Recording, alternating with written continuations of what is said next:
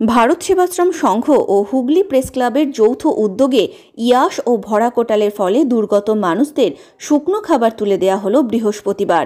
হুগলি জেলার শ্রীরামপুর স্টেশন সংলগ্ন হুগলি প্রেস ক্লাবের মধ্যে এক অনুষ্ঠানে দরিদ্র ও অসহায় মানুষদের হাতে চাল, ডাল, মুড়ি, সাবান সহ নানা খাদ্য সামগ্রী তুলে দেন ভারত সেবাশ্রম সংঘের সন্ন্যাসী স্বামী মহাদেবানন্দ।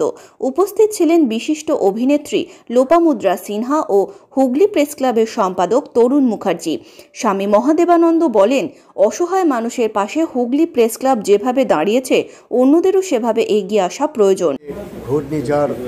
হয়েছে এবং যে সকল মানুষ ক্ষতিগ্রস্ত হয়ে গেছে এবং করোনা মহামারীর জন্যে যে সকল মানুষ কর্ম হারিয়ে খেতে পাচ্ছে না এবং অভুক্ত অবস্থা আছে প্রেস ক্লাব এবং ভারত সেবাশ্রম সংঘ মানুষ এদের পাশে দাঁড়াবার জন্যে যে প্রয়াস নিয়েছে এবং আগামী দিনে এই কাজ আমরা চালিয়ে যাব, প্রেস ক্লাব এবং ভারত সেবাশ্রম সংঘ।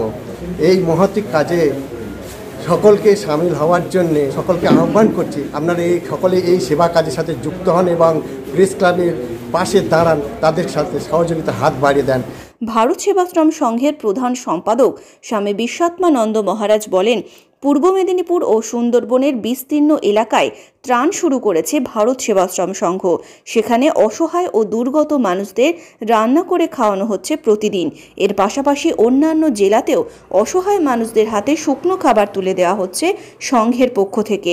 তারই অঙ্গ হিসাবে এদিন হুগলি প্রেস ক্লাবের উদ্যোগেও বহু মানুষের হাতে খাদ্য সামগ্রী তুলে দেওয়া হলো।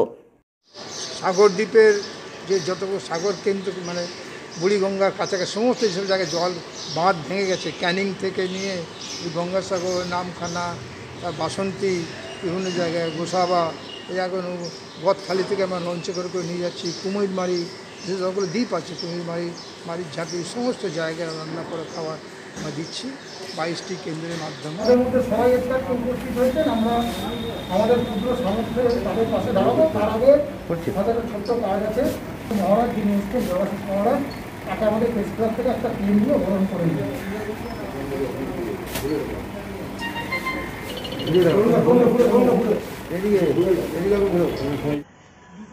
ভারত সেবা সংঘ আমরা জানি যেখানে মানুষ বিপদে পড়ে আর তো মানুষের পাশে তারা গিয়ে দাঁড়ায়। তারা এখানে আজকে এসেছে। এখানে কিছু মানুষের হাতে আমরা তুলে দিলাম। এবং এ ব্যাপারে আমরা ভারত সেবাশ্রম সংঘের কাছে চিরঋণী থাকব কতজনের হাতে তুলে দিলেন? আজকে প্রায় আমরা একশো জন দুস্থ মানুষের হাতে কিছু খাদ্য সামগ্রী তুলে দেওয়া হলো। এই যৌথভাবে একসাথে